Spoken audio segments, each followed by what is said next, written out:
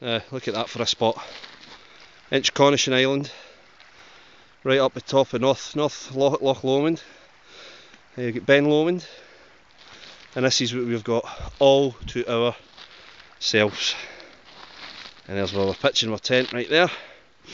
Plenty of wood. Oh, bring a tent up, wee man. Once you made that secure. My God, look at this. Absolutely beautiful. What a spot.